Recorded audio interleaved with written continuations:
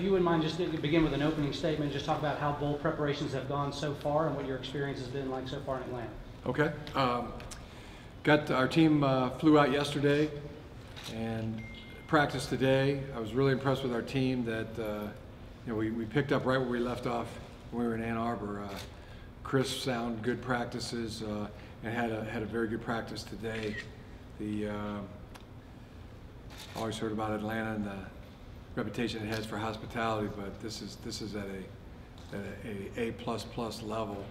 The uh, Peach Bowl and all the incredible volunteers, uh, just how serious they are about making everything uh, first class in terms of uh, accommodations, the of course the the, the uh, Mercedes-Benz Stadium is is uh, as good as it gets, and and the people really um, all the all the volunteers that are going to be working over Christmas and um, just have a lot of a lot of gratitude to them for um, working so hard to make this experience good for us and and we've uh, we've seen it all you know uh, every hour since we've been here so super excited to be here. All right, go ahead and open up for questions. Just go ahead and take your turn, shout it out. Coach, I'm Anthony with the Atlanta Voice. Of course, this has sort of been an up and down season for you, just starting off, lost to Notre Dame, but you guys were able to battle through. Kind of had a tough loss at into Ohio State. Can you just describe how the season has been just for you as a coach and how you feel just to be here at this moment right now? Right. Um, yeah, we, we lost our opener to Notre Dame, and um, and that was a uh, good football team.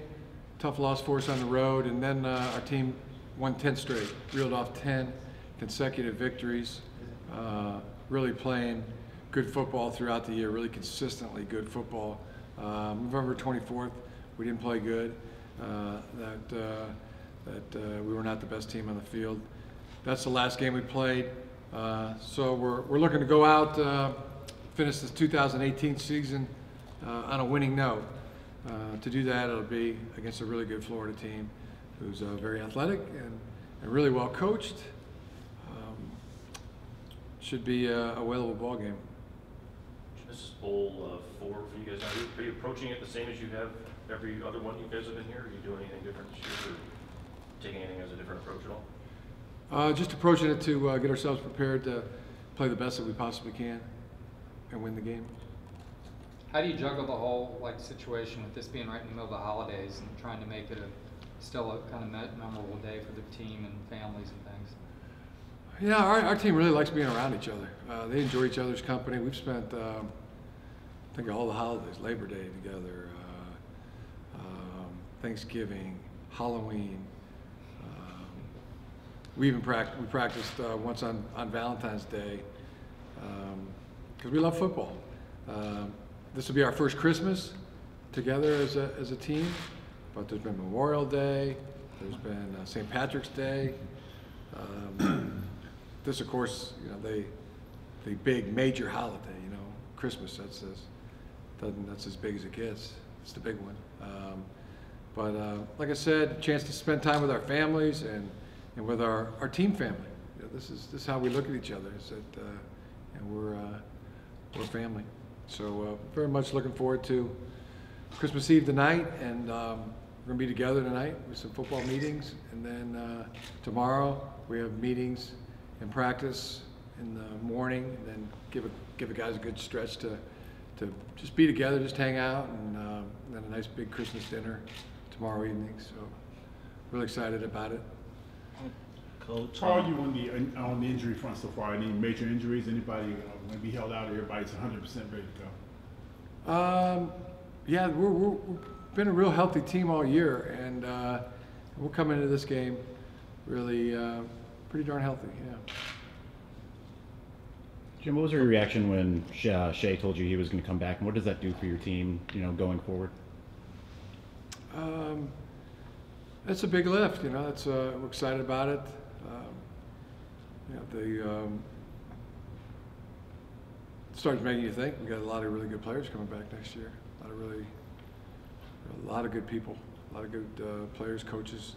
that'll be returning next year, and uh, um, so that that thought's in your mind too. Is uh, is you uh, you want to you want to you want to win this game for for this team for this season, um, and knowing that it'll it'll change. There'll be some players that are on the team right now won't be back next year, but uh, a lot of them will.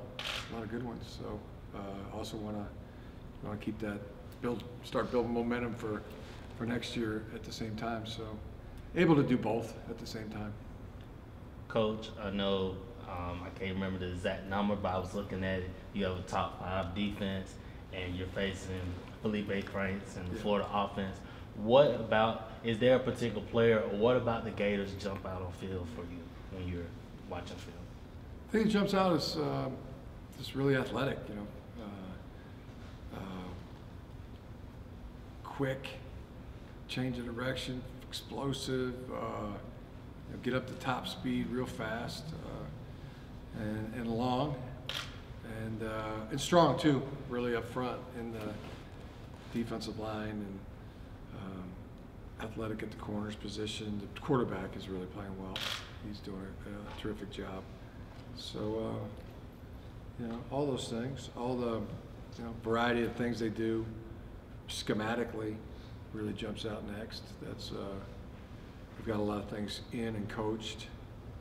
Um, How much farther ahead is this, this team than the one you guys faced a year ago to open the season, the Gator team? Oh, um, I don't know. I mean, that was, uh, that was a long time ago. It's like almost two seasons, two full Yeah, seasons It was a long time. Yeah. But still, I mean, do you, does it look like it's made a lot of, the program's made a lot of progress this season? Uh, yeah, I, mean, I thought they were good then too. Um, you know, they're good now. Hate to compare, really. Fair enough. You you know, got, you got a few guys sitting out, obviously. Uh, did you have any input in their decision to sit out, or what were those conversations like with those guys? Uh, just that we, that was their decision. We respect it. Do you have an opinion on it?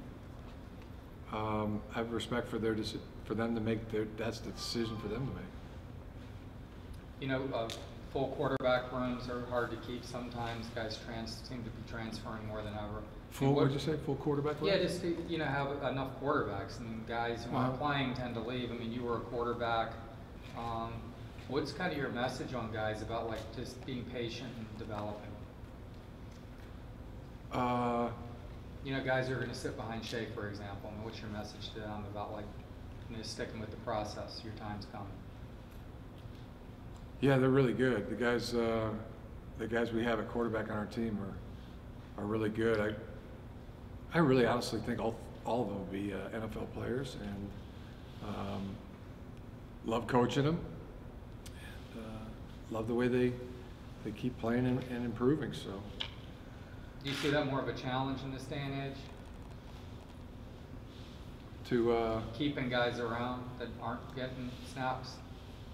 Maybe not in your case, but you just see that more. I think it's pretty much the same. You, know, you got the, you have, um, I mean, you have the ability or you don't, um, and and you have the license. You're on a team. You have the license to to be good. You have the license to to play and and uh, contribute. So I don't think it's really changed from where ever has ever been. I mean, there's there's still just one ball. There's only one quarterback can play at a time.